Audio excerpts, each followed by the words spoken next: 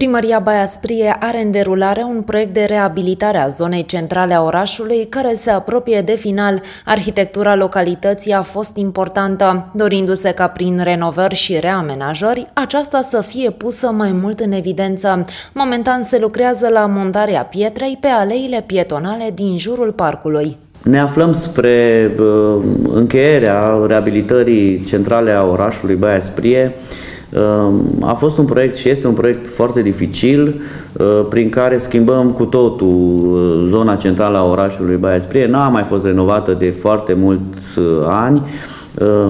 Proiectul a fost unul destul de complicat pentru că se vrea să pune în valoare arhitectura centrului istoric al orașului Baia Sprie, unde sunt foarte multe clădiri istorice. Și cele două biserici ale zonei centrale au intrat într-un proces de renovare. Atât biserica reformată cât și cea romano-catolică își vor schimba înfățișarea. Pe lângă aceste arhitecții s-au ocupat și de fântâna arteziană, un monument reprezentativ al localității. Va fi un, o zonă deosebită și de promenadă și pentru uh, dezvoltarea teraselor din jurul acestei piațete, pentru că se creează o piațetă uh, istorică foarte frumoasă.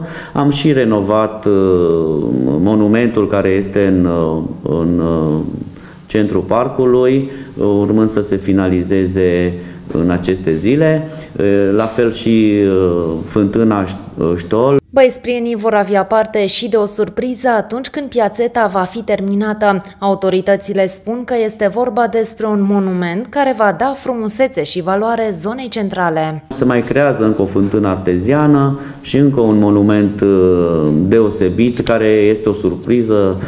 Vrem să-l prezentăm doar la finalizarea lucrărilor.